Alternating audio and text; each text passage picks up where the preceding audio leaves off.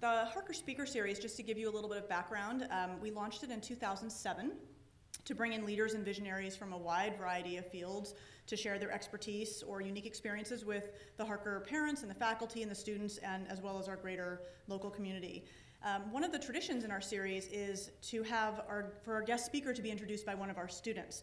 So tonight, Harker senior Warren Zhang will be introducing Mr. Lanza. But before I invite Warren up to the stage, just a couple housekeeping things. I know that you all had a few minutes to be out there, so you probably found the restrooms, but if you need them, they're in the atrium and off to the right. Uh, Mr. Lanza is going to speak for about an hour and then do a question and answer with you, a little bit of a discussion Q&A. And then after that, he will be available in the lobby to sign books if you are interested in that. So thanks again for coming, and Warren?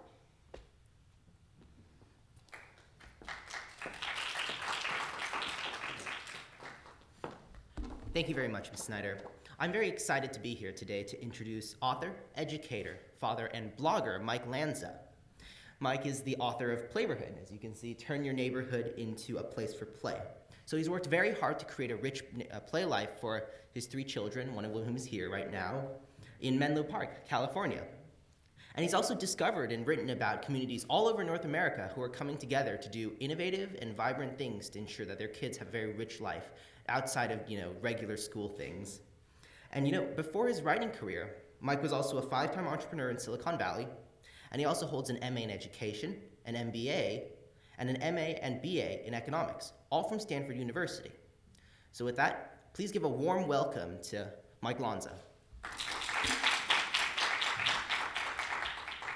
Well, that was a great introduction, Warren. Uh, I'm going to try to stay with the mic, um, but I like to move around, so we'll see what happens. Um, thanks for coming today. Thanks for braving the, uh, the crowds going to the football game. I know that's an exciting thing, at least it was for me when I was a kid. So I'm just waiting for my little, what I, I use my, okay. I'll just do it with my, my keypad. I use my iPhone to navigate my, uh, my presentation. Um, so, uh, as Warren said, I'm the father of three boys. Uh, we're in Menlo Park, and um, Marco's here with me. Um, he's uh, kind of uh, congruent with what I'm, I'm doing in Playborhood and actually things that I'm doing for my next book. I'm, I'm uh, sort of encouraging Marco to be an entrepreneur, so um, he's helping me sell books and signs, and he gets a little cut, uh, which uh, is the only reason he's here because he's seen this presentation like four or five times, and uh, uh, he doesn't need to see it again. But he's a great prop. Um, so this is the book. Um, came out in April. Playborhood, turn your neighborhood into a place for play, and um, what I have to say tonight really kind of tracks the book fairly well. There, obviously, there's a lot more information in the book. And we also have these signs. Uh, you can see here. And um, they're also uh, for sale. Every, both are $10 each. Um, and the idea behind the sign is you could put it uh, in front of your house, uh, you know, on a street and in the sidewalk, just to kind of tell people, hey, kids are here. Uh, this is a place for kids to play. Okay. So um, got to start with what I call the, the Manifesto. Um, I want my kids to play outside with other neighborhood kids every day. I want them to create their own games and rules. I want them to play big, complex games with large groups of kids and smaller games one on one with the best friend. I want them to decide what, for themselves what to play, where, and with whom. I want them to settle their own disputes with their friends. I want them to create their own private clubs with secret rules. I want them to make lasting physical artifacts that tell the world that this is their place. I want them to laugh and run and think every day.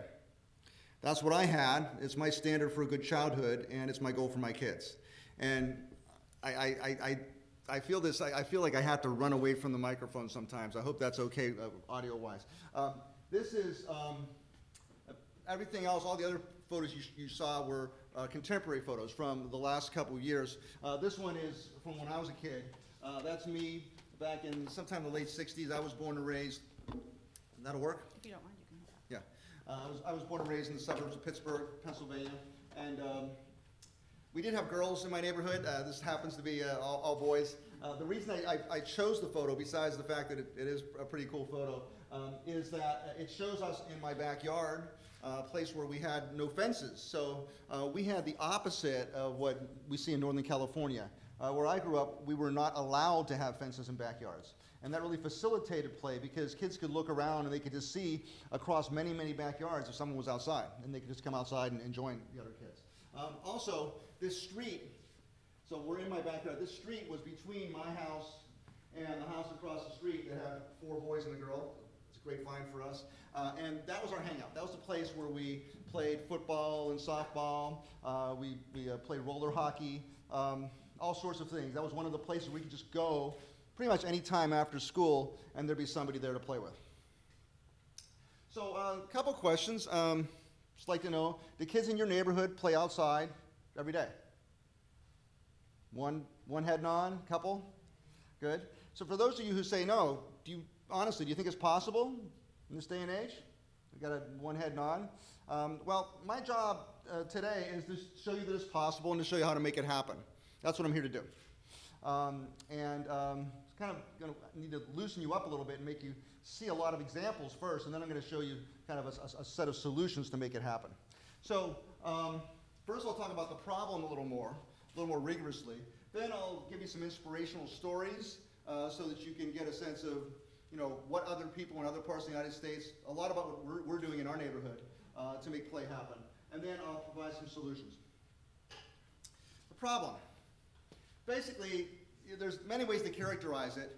This is the way that most people talk about this problem of lack of play among children. They're doing too much of that and too much of this. Um, they're sitting in front of uh, screens too much. Uh, the statistics are mind-boggling.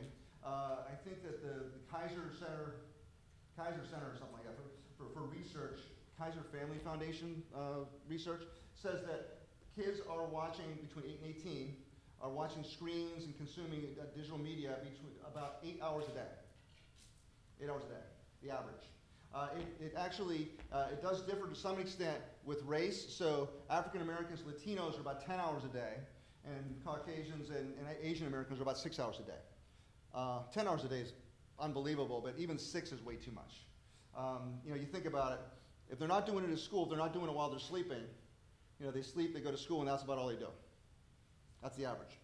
Um, and then they're doing this. And this is more prevalent, uh, in other words, being chauffeured around uh, in adult led activities. Um, this happens more with, uh, with, excuse me, with, with Caucasians, with uh, Asian Americans, with upper middle income uh, kids in general. They're scheduled, highly scheduled. Um, so what's missing is they have no time on their own in the world to do things. And when I think back to what was most fun in my childhood, what was actually, actually the most formative for me, it was being on my own with my friends in my neighborhood. That's what we did. Now that's almost eliminated from most children's lives. So that's one way to characterize the problem. So what? So a lot of people say, you know, this is 21st century and that's the way it is, and you know, my kid's fine. My kid's, you know, out there uh, doing soccer and doing football and doing baseball and uh, dance. You know, there's, there's some measurable negative impacts of the lack of play. Um, one is obesity. You know, and I mentioned, you know, these adult-led activities like, uh, like, you know, uh, team sports. Well, kids actually are fairly sedentary, most kids, uh, in team sports because of all the time it takes to drive there, all the time it takes, you know, just standing on the sidelines, waiting for things to happen. Um, a lot of times you bring siblings along, so siblings aren't doing anything uh, while the kid who's playing is playing. Um, and then there's all this other stuff, the, all these other activities that kids do. They're watching TV as well. They're more obese because they don't play in their neighborhood. Um, there's depression. Depression um, is, I probably don't have to tell you, is, is epidemic uh, levels uh, among youth and young adults in America. Uh, it's increased, some people say, two or three times from what it was decades ago, and other associated emotional problems. Um, suicide is associated with that. It's a big deal where I live. Well, I, I live next to Palo Alto. Uh, Gunn High School's had quite a few suicides in the past few years. Um, creativity is something we can't really measure very well, but people tend to think that creativity is much less now than it was years ago. When kids were free to go out and do things on their own, to make decisions for themselves, they were more creative. Um, and actually, this is re- new research I'm doing for a new book about just helping, figuring out how parents can help kids be doers and be creative in the world and, and do things.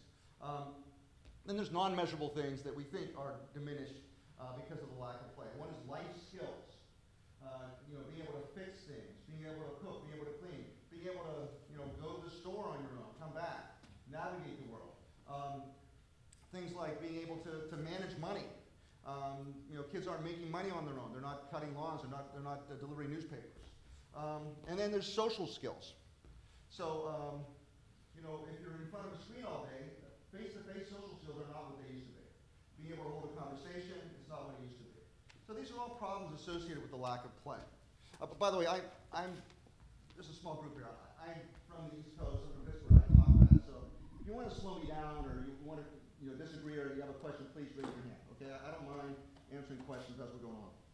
So, big thing I want to get across is this is a social problem, okay? This is, you know, the way we, the, the way I framed the, the problem to start with was, oh, kids, you know, they're watching too much television, they're in too many uh, adult-sponsored activities. That's a, that's a good problem frame. The problem with that problem frame is, if that's the way you frame the problem, then your solution is, we're gonna cut down on the, on that television, right? We're gonna cut down on those, on, on those, on those, uh, activities after school. If you do that, and you say, kids go outside, they go outside, they look around, there's nothing going on. Boring, right? Neighborhoods are boring. Um, so that's, that's the problem frame that I actually like to, to frame to, to come up with solutions is, rather than saying all these things that kids are doing are bad, let's say, you know, our responsibility is to make the neighborhood a compelling place, to make the, neighborhood a place where kids want to be. Um, and that's a lot of what I'm going to be talking about in my solutions section. So now I'm going to give you some uh, stories of places. I'm going to talk a lot about my neighborhood, Menlo Park. Uh, Marco's going to be up there quite a bit. You'll get tired of hearing about Marco. Um, and then I'll talk about some other neighborhoods throughout the United States uh, that are doing some really cool things to bring kids outside. Um, so this is our, what I call neighborhood family room in Menlo Park. Um, this is about, so what I did was I, and I'm going to talk a lot about sort of the physical changes we made to our yard, but there's a lot of, a lot of, you know, knocking on doors and talking to people and, and getting them to come outside as well. There's all the, the, the social side of it. Um, this is about halfway through our renovations of our front yard. The idea behind the renovations were, let's make this into a compelling place where kids want to be, where they want to hang out. Because we, we have parks that are four blocks away. We have two parks that are four or five blocks away. No one goes there. I don't know what your experience is, but parks are pretty dead these days. Kids don't go to parks. Or if they go, all the kids, all the little kids are with an adult, one adult each. And the adults are standing over the kids, and the kids are, you know, it's not very exciting. It's not very fun. Um, so we're trying to make that hangout experience happen right where we live. And uh, like I said, it's about halfway through the, the, the renovations. And I'm going to focus in right first on this, this picnic table here. So we got a picnic table in the front of our yard. Most people have picnic tables in the back of the yard. That's where they dine. But if you think about it, for some reason, you know, when you go to a great city, when you go to San Francisco, when you go to New York, when you go to Paris, you like to see people. And you don't even know these people. Why don't you want to sit in your front yard and see people you know? We think it's great. So we, we're out there two times a week, three times a week. We do all our birthday parties, we do all our family functions out there. And, you know, we see people, we, we wave, we say hello. Sometimes we see someone who we really want to see, and we ask them to come over. They have some wine with us. Um, it's my wife and her family here. Um, and uh, when our kids are tired of playing, they just run out in the driveway, they run out on the street. Other kids that are walking by join. You know, it, it's a big street party every time we eat in, in our front yard. It's a lot of fun. Uh, this is our driveway. So um, there's a beautiful painting there. Before I talk about the beautiful mural, just want to talk about the surface. So when we moved in here, we had uh, pavers. So those, you know, like kind of bricks that a lot of people have, and people think, I, I actually don't quite understand, but people think they're very luxurious and beautiful to have pavers on your, your driveway. I think they're really horrible for kids, so we tore them out. Why are they not good for kids? Well, what do kids want to do on a driveway? What do you do on the driveway, Marco? I scooter, I ride plasma cars, I play basketball. He scooters, he rides his little plasma car, he plays basketball, he plays bouncy ball, they draw with sidewalk chalk, they ride bikes. You can't do that on pavers. All this fun stuff the kids love to do, you know, with wheeled vehicles, like those little wheels, they can't do it with pavers. They can't play basketball because the basketball goes all over the place. Bouncy ball, they can't do it. So first thing we did when we moved in, we tore out all the pavers. We put in smooth cement. And I guess what I want to get you to think about is we looked at every square inch, every square foot, every square inch of our yard and thought, instead of what other people think we should do with it too, how can we use this place? How can we use every, every square foot of our yard? And driveway's dead unless you can roll wheels on it. And this will come up actually later, how important it is for kids to roll little wheels on, on the driveway. Uh, also, the, the painting obviously is beautiful. It's a mural of our, of our neighborhood. That's our neighborhood, that's where we live. Um, that green rectangle there, that's our, our lot. Uh, I drew in all the lot lines actually, and um, it's a great play space. It's a lot more pretty to, to, to look at than your, your average driveway. Also, um, you know, every one of these, uh, uh, these lots is, is just big enough for a, a Lego base plate, so you can put a house on any of those lots. So you can put a, a lot on where you live or where somebody else lives. Um, the streets are just right for Hot Wheels cars, Matchbox cars, HO trains, all that stuff. So it's a lot of fun. Um, this is our sidewalk, and that's my son Nico up there. Um, this, we have a neighborhood summer camp every summer uh, for one week every morning. Uh, kids from the neighborhood come around, and we just have lots of fun. This is one of our projects this, this summer. Um, we, we, kids chose different patterns, and then we had a, somebody, a friend of mine, draw out the patterns in chalk, and then the kids painted them in. So you're starting to get the sense, I hope, we're defacing everything we can, okay? We want this place to look like kids live here. We want them to feel like they own this place. We don't want it to look like another boring suburban front yard. We want this to be a hangout. We want the kids to be really into being there, and they are. They're out every day. Um, this is our fountain. So um, I got this fountain because it's very low to the ground. It's got no sharp edges. Every toddler that walks by splashes their hands when it's nice out, when they splash their hands in the, in the fountain. Dogs lap up water. Uh, it's, a, it's an attractor. It's one of the things that actually, honestly, that we use to, to get people to start engaging with our yard.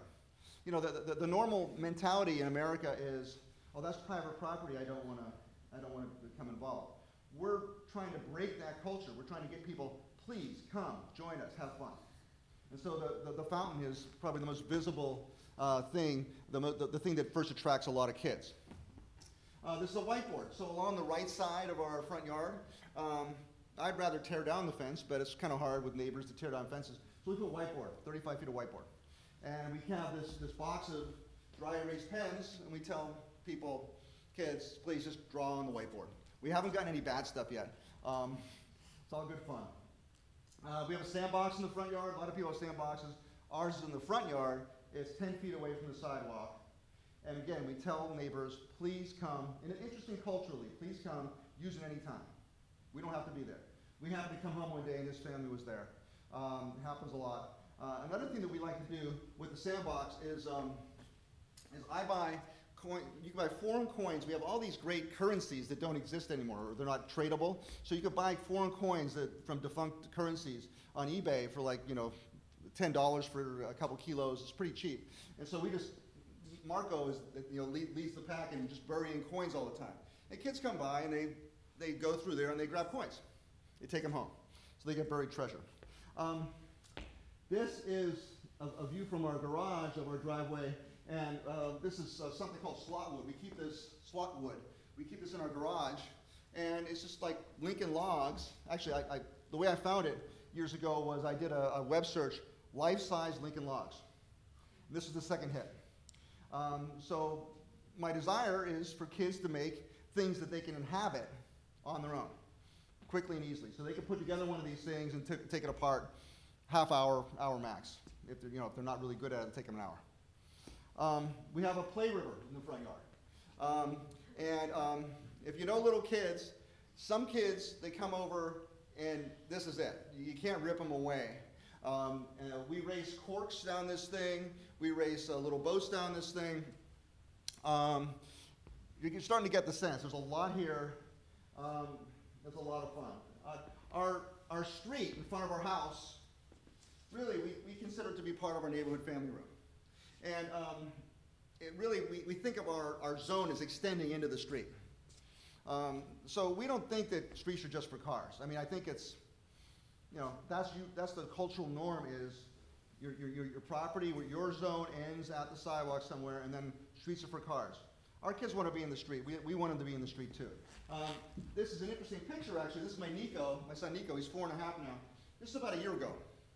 He was about three years and nine months, three years and ten months old, and he's got no training wheels. Interesting story about Nico learning how to ride a bike without training wheels. Um, he, this is pretty amazing. He taught himself how to ride a bike without training wheels before he was four. We can hear him? Okay. He taught himself how to ride a bike wi- without training wheels before he was four years old. He had three things, three, three key ingredients. He had inspiration. Marco, his older brother, great bike rider, riding all the time. So he sees his brother riding around, up and down the street, to school, all that. So he had inspiration. Second thing he had was a prepared environment. Smooth driveway, okay? Lots and lots of wheel, wheel vehicles in the garage. Many wheel vehicles, many bikes, tricycles, this plasma car. Yes, Marco? Uh, I forgot what it. It's okay. So he had inspiration, he had a, prepared environment, and he had freedom. We don't hover over our kids. Mark was out there on the street, Nico's in the garage, hours every afternoon. I came home day after day, and I'd see him on this wheel vehicle, and this wheel vehicle, and this bike, and this plasma car. He rode, he rode the Razor a lot. Then one, time, one day I came home, he's on one of those balance bikes. You know, a balance bike, it's got no pedals. I knew he was ready. So I put him on, I took the, the training wheels off this bike, I put him on it in 10 minutes, he's on his own. So it's kind of, it's really interesting what kids can do if you give them those things, if you give them freedom, if you give them a prepared environment, if you give them some inspiration, kind of show them the path. They can do a lot of things on their own. This is our backyard. Um, lots more fun stuff. We got this in-ground trampoline. Okay, so it's a trampoline where, you know, you don't have to climb up the ladder into this cage and stay in the cage. You know, Marco here, he's running on the grass. He's playing a game on the grass. Then he just runs onto the trampoline. Then he runs off. And we've got these beanbag couches all around. Um, it's really fun. And another thing, another thing to do, by the way, is we, we did this today. Is we'll take the springs off of the trampoline, and they have a little kind of shack in there underneath the, the trampoline. Yes, Marco. Uh, and I like to do flips. It's fun. He's good at doing flips. That's what happens when you have your own trampoline. Okay, so we have a playhouse, wonderful playhouse, lots and lots of fun. Um, and it's a prefab that we sort of changed everything, changed all the dimensions. I want to focus on the inside. Uh, this is the second floor. It's a pretty big playhouse. So I put drywall. I, I put whiteboard all on the first floor. So that's where kids can draw. Marco, try not to draw attention to yourself, okay? Okay. And then on the second floor, we put drywall, and we painted it, and we thought, you know, this is great. Kids will draw all over that white that that uh, that whiteboard. What happens? They draw over everything. Not only the whiteboard, but all the all the drywall upstairs, all the, the painted walls. Um, so I was pretty upset about that at first, and then I looked around. I looked at what they were drawing. It's amazing stuff. I mean, it's like a you know, it's like like cave paintings from thousands of years ago. Kid, there's really deep culture in these walls. I mean, kids writing about each other. Uh, there's one, there's two different enemies lists. There's, you know, top 10 enemies of, of different kids uh, in the neighborhood. Uh, there's um, stuff about, you know, remember me always, and one girl who was moving, she talked about how much she loves where she lives, and she wrote about uh, the people that she's going to miss. It's beautiful. It's great. And it's all over the playhouse now. All over the inside and all, now on the outside. And that's been up for three years. And this is our family family room. What do I mean? This is the inside of the house. My point here is that yeah, we spent a lot of money on the on the outside of the house. But we spend, and I mean zero, we spend zero on the inside. So it's not about how much money you spend, it's about your priorities, it's about your, your sense of proportion. For us, the inside of the house doesn't matter. We don't care. We live in one of the best climates in the world. We want our kids to be outside. By the way, don't, they don't watch television. We, we're pretty, we're, we're, we're radical. We don't have television to watch. So, and they don't have an interesting inside of the house. They, they have things they could do in the winter when it's raining, but they like to go outside pretty much all the time.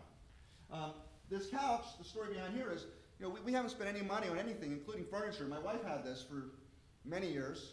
It's a crappy couch with imitation leather, and a couple years ago, the legs were starting to rattle a little bit. So I ripped the legs off. That's our couch. You know, we live in a nice, beautiful home in Menlo Park. We got this great outdoors. We got crappy furniture inside. That's, that's our priorities. Um, so now I'm going to go on to some other neighborhoods, and talk about them. Um, so we've gone from Menlo Park, which is one of the most affluent places in the United States, to South Bronx. South Bronx is, is certainly one of the most poor places in the United States. Um, in the ni- 2010 census, 49% of kids were below the poverty level. It's got horrible crime, horrible drug problems, you know, graduation rates in the I think, you know, 20% or something like that for high school. Not a good place. But this block called Lyman Place is a wonderful oasis. Uh, it's, it's just a wonderful place, and it's all really due to this woman here, Hetty Fox. Hetty uh, grew up on Lyman Place, and she went off to California. She went off to Cal State Northridge to teach for a couple years, uh, and then she came back. And since 1970, she's devoted her entire life to making that one block where she lives a better place to live. And the one thing I want to illustrate here is this is a play street. So she has been working, uh, really, she just petitions with the city of New York and the, the police department. She's been doing this for 36 years, 36 or 37 years, to block off the street, to make it a play street from 9 to 5, Monday through Friday through the summer. And she does it all. I mean, she, has, she hires youth workers to help her move stuff, but I mean, she's the, she's the enforcer. And um, so you see all the things that are going on. There's a basketball hoop up there, there's a volleyball net, there's uh, game tables, there's a girl uh, on a skateboard, there's a guy just lounging there. Um, Lyman Place is, is honestly one of the most warm, wonderful places to be anywhere, and it's in a place that people normally think is, is, a, is a very dangerous ghetto. But it's just, the, the, the camaraderie there is wonderful. And besides the fact that they have this play street, another reason is that Hetty, her, her strategy beyond the play street has been to pull in extended families and get them back living there. So when you're in public housing, a lot of the housing there is public housing, they just kick you out and you know you don't know why and you don't have much control over where you go. She's worked with the city of new york to actually kind of choose families to bring them back. And so this boy here Ja- Jacob. jacob yeah. Jacob um, well he's got about i think 13 or 14 extended family members right on the street. He's two years marco i need you to be quiet okay? Thank you. He's got about 13 or 14 extended family members right on the street. So let me tell you the story about how I, I encountered Jacob. So I was there one day during a, a, a Play Street day, and uh, it was a wonderful, fun day, and kids are running around uh, playing, and, and but I really noticed Jacob because he's two years old. He just was three days after his second birthday there, and um, I just noticed that he was really good on his scooter. I mean, just two wheels. He doesn't have a third wheel, and he seems happy and he seems emotionally pretty stable. And he's playing with you know different kids and, and, and talking to this adult and that adult. So, but after a, about an hour and a half, I turned to Hetty. I asked Hetty, "So who's he with? Who's who's Jacob with?" She looked around. She said, "Oh, nobody right now." And you know, he wasn't with anybody. She said, "Well." you know, that, that's actually not that big a deal because, well, his aunt's over there in that building and his grandmother's over there. And I've known, not only has she known Jacob his whole life, that's just two years, but Jacob's mother grew up on the same street and was on the play street 30 years ago. So there's tight, tight connections here. And you know the expression that, that you know that comes uh, that, that it takes a village to raise a child in, in an African village. Well, that's Lyman Place. I mean, this this kid, his mother goes to uh, to work every day, and Jacob just hangs out in the neighborhood. Most kids, they'd have they, they would go to daycare. They go to this cramped place outside of their neighborhood with a lot of people they don't know. He gets to hang out in his neighborhood with people you know, he knows and loves and has a great time. It's really nice. Another place uh, that I, love to talk about is uh, this intersection in Portland. Um, there are many intersections like this. This is number one. This is the first one. Um, it's called Share-It Square. What happened was uh, in the late 90s, uh, an architect who was a res- resident there named Mark Lakeman, he, he really was the mastermind, but he talked to his neighbors and, and he got them to you know, agree hey, we're going to take over our intersection. We don't like the fact that cars just zoom through here. This is our place. You know, this is supposed to be public property. You know, this is really our intersection. So uh, they went to the Department of Transportation in Portland and asked them, you know, hey, we got this great idea. We want to paint over the street. We want to put different installations in each corner. We want to make it into like a real, like a, like a piazza in, in, in Italy. And they turned him down. He was amazed. But when they were walking out, a guy from the transportation department grabbed him and he said, I'll give you a permit for a block party. Don't tell me what you're doing. So that's what they did. They, they, they, they got the permit for the block party.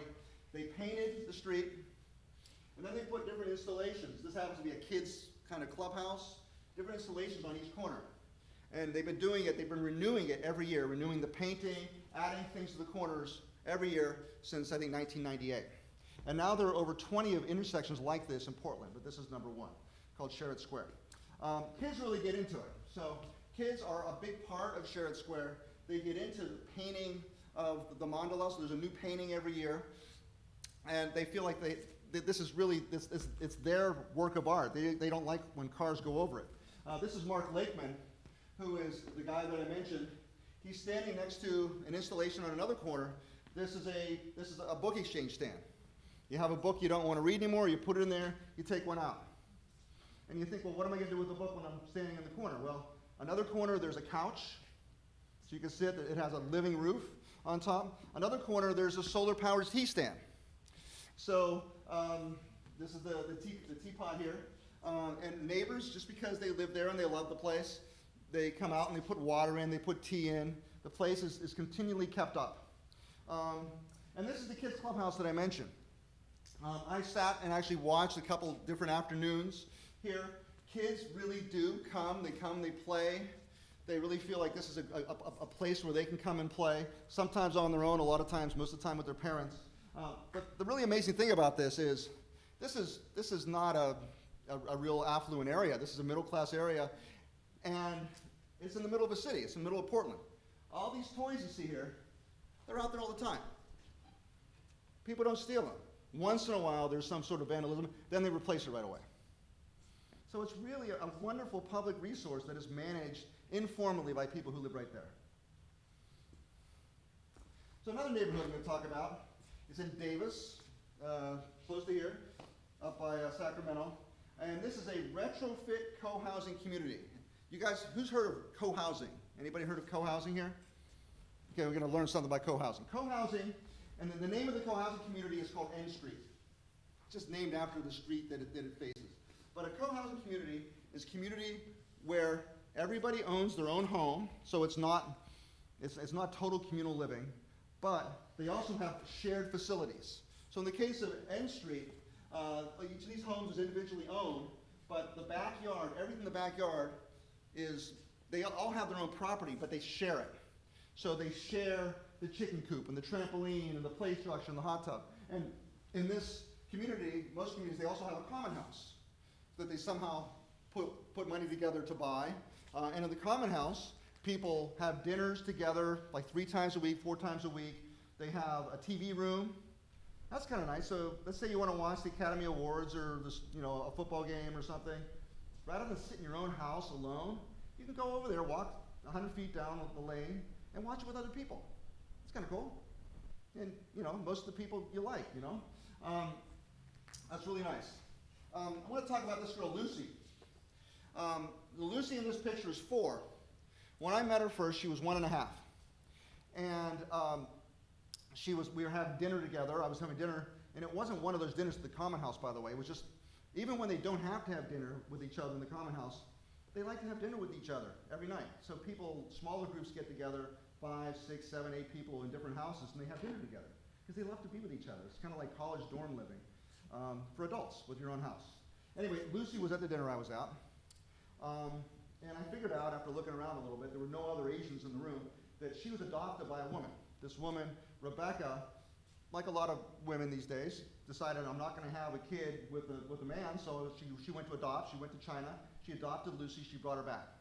So that was when I met Lucy back in, in uh, I think it was 2008, uh, 2008 or 2009. Um, well, a couple years later, Rebecca, who has no family around, Rebecca contracts cancer and dies. So, you know, what would normally happen in a situation like that? We've got a woman with no family. She just adopted a kid from another country. The kid would go into foster care. But in N Street, you know, because of, of her life before that, she's been adopted. I mean, she's been adopted formally by one family in N Street, but she's really been adopted by the whole community. So she lives with, and she, is, she has parents at one house, but another mom just takes her to Chinese lessons once a week. A dad in another house takes her to dance lessons once a week. She's in that backyard running around all over the place every day. She's got a great life. I mean, you know, this is just one picture, but she looks like she's having a good time. Um, and it's because it's a community rather than just individual homes. Really cool place. Another place in Palo Alto. Um, so I live in Menlo Park, of course, this is right next to us. Uh, this is, yes, Marco. That's Jill's camp. This is not, this is not Jill's camp. This is another one. Um, this is Iris Way, Camp Iris Way. It's, it's on Embarcadero, close to 101 in Palo Alto.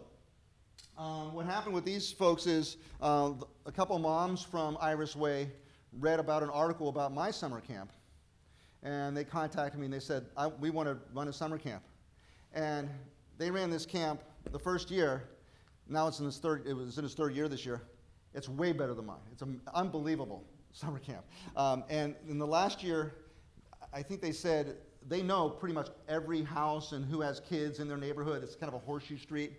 There are 75 kids total between 4 and 17 in the neighborhood, and 72 participated. 72 participated. So they had total neighborhood participation. Um, so how do you get how do you get 17 year olds to hang out with 4 year olds? Well, you bribe them. You pay them. So uh, here's a picture of uh, uh, one of the teams. This girl, I think she's about 14. You know, this boy here, he's about he's about four. He's about five, something like that. Um, yeah, they get they get along. But you know, you think of, you think about your average teenager. You know, I don't want to spend a week of my summer with a bunch of little kids. So they have a system of, of, of they have a sort of hierarchical system of, of uh, counselors. So they have counselors in training, those are kids who are in middle school. Then they have junior counselors, I think that's ninth grade and 10th grade, and then they have senior counselors. Uh, and they pay them a little bit of money. And yeah, it's a job, but what happens is, what, ha- what should happen in all neighborhoods, what happened in my neighborhood, the big kids teach the little kids how to play. It's not adults playing with kids, it's kids playing with kids. Um, and so they have this wonderful dynamic in Camp, in Camp Iris Way. And it's a love fest for a week. And then the hope is it'll transfer throughout the summer. And it does to some extent. So another neighborhood, a playborhood for a special needs boy. This is a place in Burlington, Vermont. It's a wonderful playborhood. Kids play wiffle ball, uh, often uh, on the street or in the front yards. They play football. They ride their bikes around the block. But I want to highlight the experience of this one boy, Ben. Ben is um, a special needs kid, he, or a kid with special needs. A little different terminology. Um, he's got cerebral palsy. Uh, and I don't have a kid like this, so it's hard for me to imagine, you know, how difficult his life could be. He can't use anything below his arms. His arms have limited use. He can't see very well. He can't hear very well. He can't speak very well. But he, believe it or not, he has a full, great play life in this neighborhood. Um, and kids actually come to his door and knock on his door and ask him to come out and play. And because it's right there, he can do it. If he had to go into a van and get driven, it's not going to happen every day. It's just not going to happen. Um, and uh, his dad uh, retrofit his wheelchair with these two buttons. And like I said, he can't speak very well, can't see very well either, but uh, the kids have recruited him to be a, an umpire in wiffle ball games. And one of those is ball and one of those is strike. And they actually want him to come out and, and umpire wiffle ball games. It's great. Um, also, his dad found this for him. This is a bike. His sisters, without adult help, that's his, one of his sisters right up there, can actually wheel this wheelchair on there and lock it in. So he goes for spins around, spins around the neighborhood. I mean, the, the kid's having a great life. Uh, and it's all because he's got a vibrant place right where he lives. This would not happen if he had to get driven around. So, those are all my inspiring examples. Now I'm going to talk about solutions. And uh, I got six of them. First, moving. So, not everybody moves all the time. But the fact is that in America, the average family with kids moves about once every six years. Average. So, all I'm saying is, when you move, I think you should think about moving in a different way. The real estate industry doesn't really help us to find places where kids can have a good life. You know, what does the real estate industry do? Well, this is a, a Mountain View uh, listing. Um, by the way, people gasp, you know, when I go outside of the Bay Area at, you know, at $749,000. it's really hard to find something that low. Uh, but uh, actually, it's, it's, uh, it's very high for people outside of here. Anyway, uh, what are they selling? What are they trying to sell? What are they, what are they telling us about this house? It's got dual pane windows, it's got hardwood floors, it's got vaulted tongue-and-groove ceilings, it's got forced air heating. From a kid's point of view, who cares? Who cares? Is that, you know, does that enhance a kid's quality of life? You know, we often say we're moving for our kids. Are we really moving for our kids? Do they want the, this high-pressure school district you're moving them to? Do they want, you know, the extra bedroom? Kids would love to sleep, you know, double up in, in bedrooms if they have a, a, a neighborhood that's thriving, that's really happening. Um, so, you know, my, my uh, recommendation is you marry the neighborhood. When you move to a house, you're not just moving into a house. Uh, Maybe I should take a step back. This is, I'm half Sicilian, so this is important to me, this, this picture. This is from The Godfather. Remember The Godfather? This is when Michael Corleone goes back, goes to Sicily, meets this beautiful woman, and uh, he decides he wants to marry her, and this is their date. So they go out for a walk, and there's all the old Sicilian ladies walking behind them. Because in Sicilian culture, like in Chinese culture, my wife's culture, when you don't just marry the person, you marry the family. And so my recommendation for people when they buy homes is think about marrying the neighborhood. You're not just marrying, you're not just buying the home, you're marrying the whole neighborhood. Um, and so think about you know, what kind of people are these people? I mean, when, when I, I have a whole chapter in the book about house hunting, you know, knock on doors, talk to them, find out if there are kids who live here. That's another thing is, you know, the number one criterion, I think, for buying a house for kids is are there other kids their age who live around there? You remember? You remember when? I don't know, you remember when uh, you were a kid and a moving truck would move up, moving somebody into a house? And I remember we'd run up to the moving truck. We had three questions: Are there kids? What ages? Boys or girls? That's all we wanted to know. And we were happy if there were kids. We weren't happy if there weren't kids. So that's that's the number one raw material. Other things like calm streets, walkable neighborhood, um, um, an outdoor life, some a place not where it looks like everything's pristine and people just get in their car and drive away, but a place where it looks like they live outside, where they're walking all the time. Things like that are important. Okay, number two, make a neighborhood hangout. So, um, you know, you're, living in a place, but the fact is, kids are not going to go outside. Kids are not going to go outside if there's nothing going on. And the best way to assure that something's going on is if there's a place where people can go where there's something happening. And so this is, uh, comes from the TV show Cheers. Um, and I had my Cheers when I was a little kid. We had that street between my house and the house across the street. We also had, we also had a, a, a woods down the street where there was a, a tree house. Now, I've tried to do that with our yard, and I think we've done a pretty good job. You come our, by our house pretty much any afternoon after school, there's something going on. And people do come by, just drop by and see what's going on. That's what it has to be.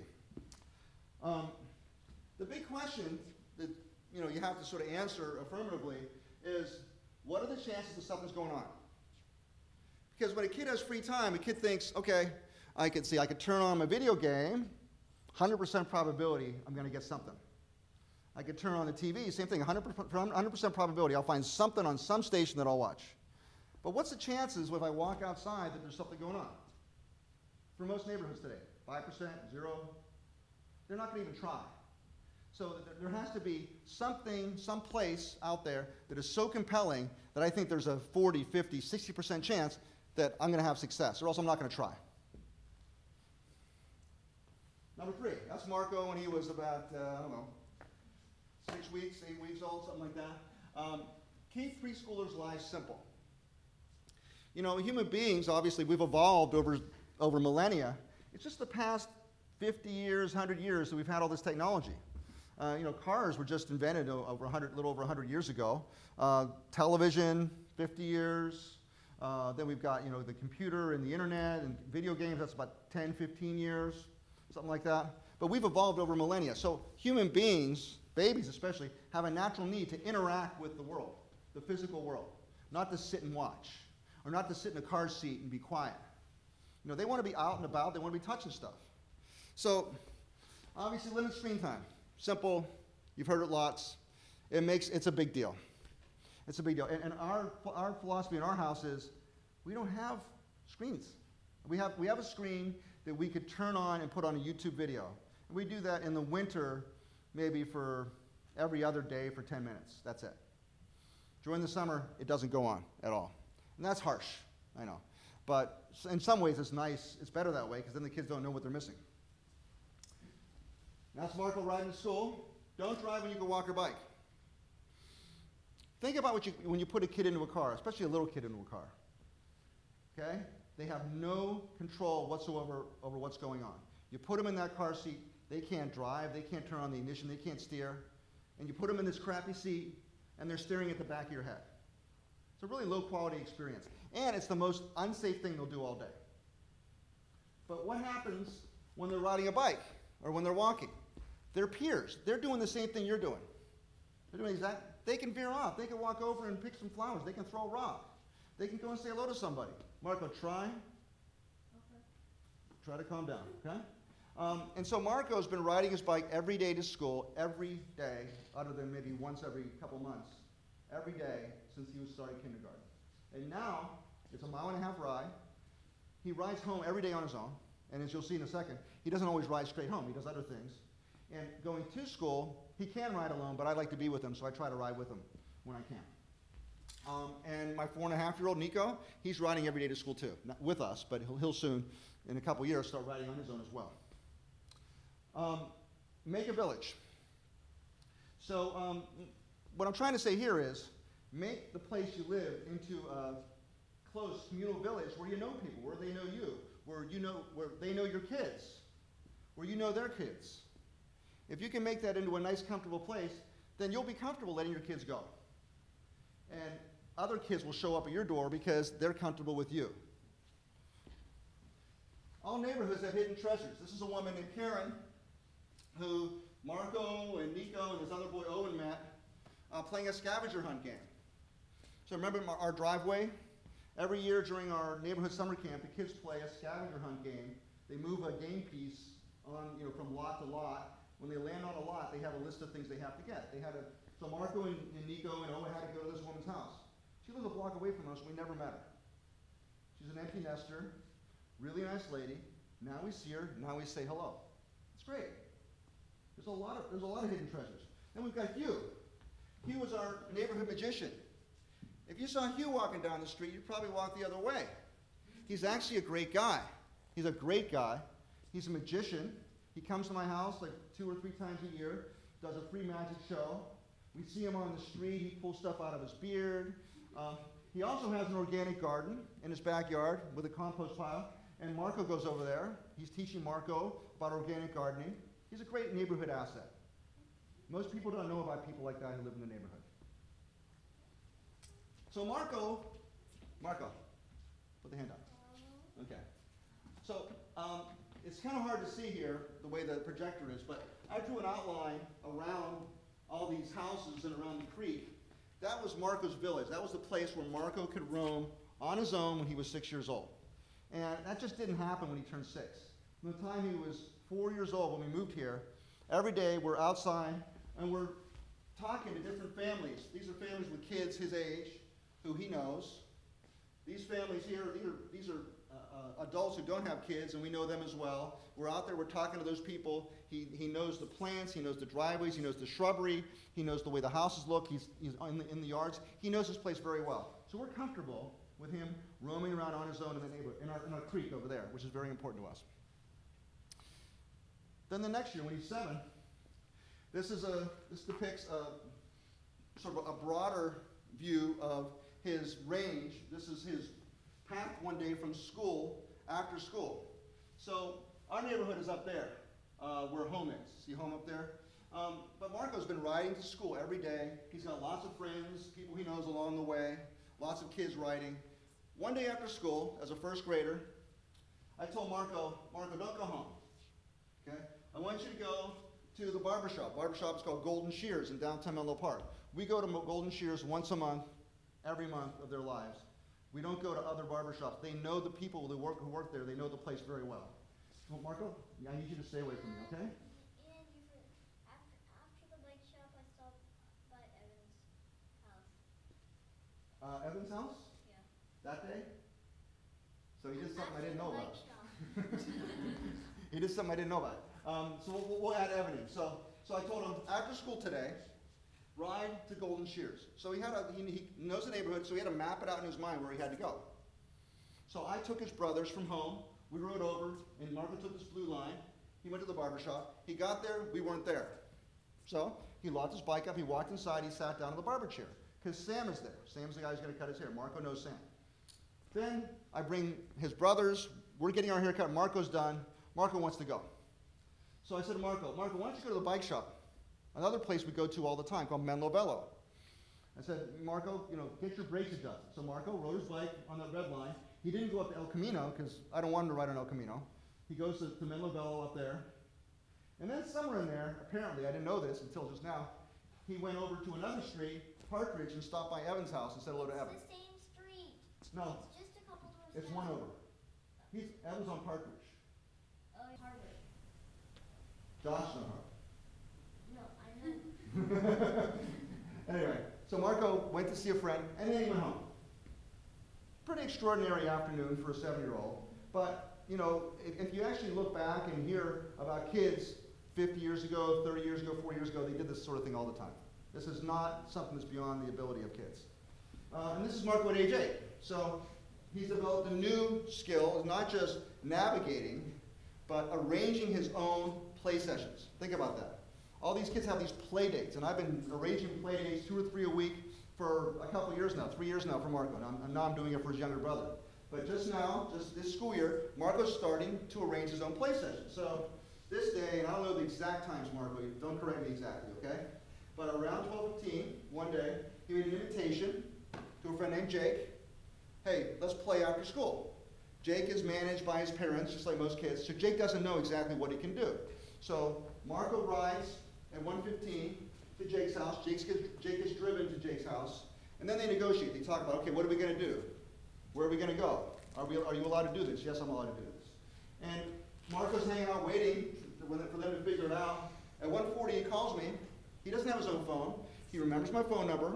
He, he just put committed that to memory and borrowed a phone from a grown-up.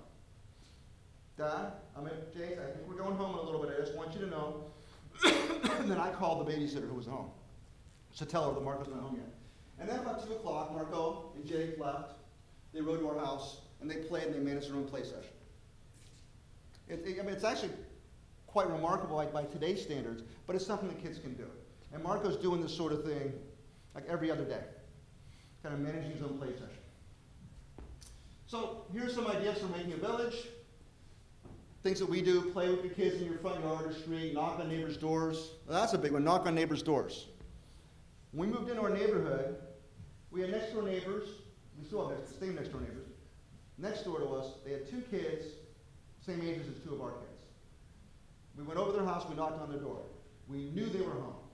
They didn't answer the door. A couple days later, same thing. They didn't answer the door. Finally, I happened to see the mom outside, and I said, hey, you know, we knocked on your door last night and then a couple nights before that. She said, oh, that was you. She never thought that someone she'd want to see would be at her door. So now in our neighborhood, people knock on doors. Kind of break, broken that cultural stigma. Um, knock on doors, you know? Why not? Um, walk or bike in your neighborhood, so on and so forth. Number five. What movie is this from? Wayne's World. Wayne's World was prophetic, prophetic, because uh, back in, I think it was early 90s, something like that, late 80s, early 90s, something like that, um, there's a movie about a couple guys who were in their 20s, who were living with their parents, have no real job, have no real girlfriend, don't know what they're going to do with their life, and have no money. Sound familiar? It's kind of what most 20 somethings are doing these days, partially because of, uh, of economic situation, but not, but not totally.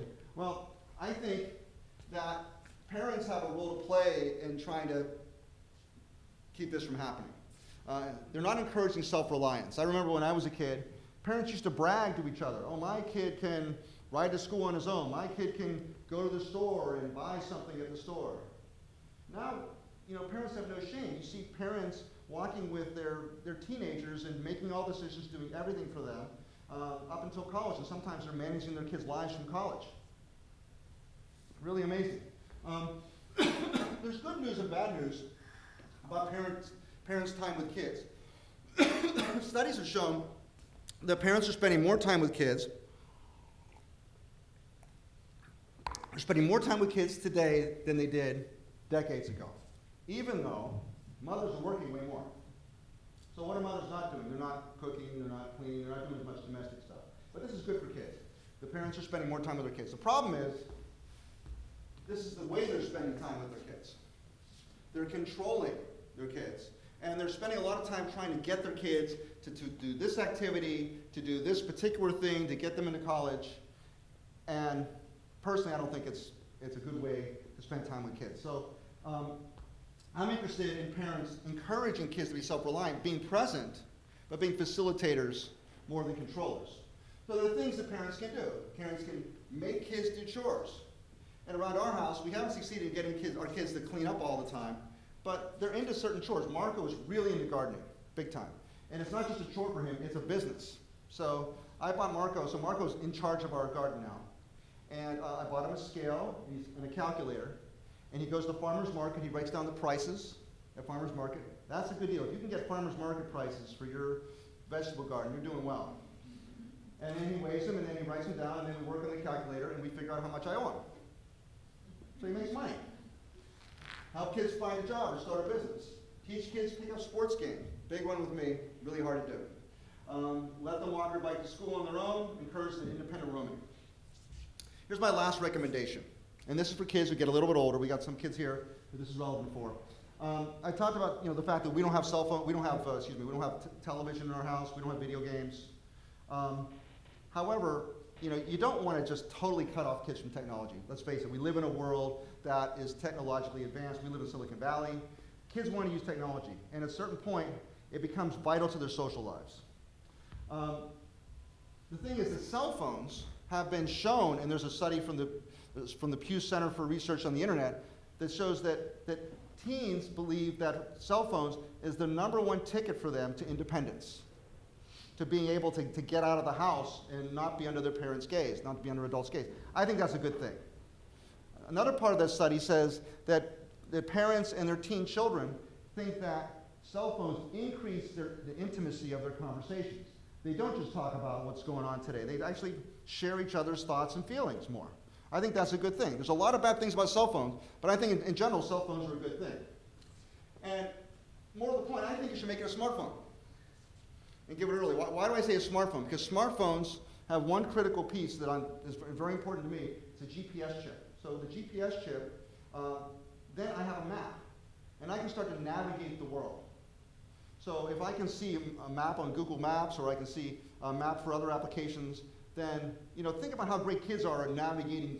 You know, used to be at navigating Mario's World or World of Warcraft. If they have a if they have a phone with a GPS chip and a map, they can navigate the world better than adults can. Uh, of course, you know, prohibit use on roadways. Yes, prohibit use in the home. Well, not everybody, everybody's going to be able to do that, but at least the dinner table, and the bedroom. Come on. Can't do these things. But out in the world, it's a good thing. And this is me, actually, um, my concluding slide. Uh, the real world can become their game board. So kids love video games. There's a whole new genre of video games called uh, place-based games, location-based games. There's different, different names. Where the game board, in this case for us, the game board was Times Square. We were playing a game called Paparazzi, and in the game, there are teams of three. Our team, we had the celebrity, this guy with the, the red scarf. I forget what you call it. A, what do you call these things? A boa. A boa. Yeah, he's got a boa. And we're his entourage. And all these other teams are running around trying to take his picture. And we're following them on, we're following the different teams on our cell phones, and we have these different places we have to go to. I got to tell you, we learned Times Square, we learned the minutia of the buildings and the, the street vendors way better than people who've probably been there for years. We got to know lots of people, so we were very immersed, very immersed in the place, in the here and now. Unlike when most people use cell phones, they're staring at that screen and they have no idea what's going on. In that case, with a location-based game, the screen was a facilitator to help me to see the world better. So actually, this new technology, I'm very hopeful that it can actually immerse people more into the world than they, than they have been otherwise if they're using the GPS chip. So the real world can become their game board. And so I think mobile phones can be a really good thing.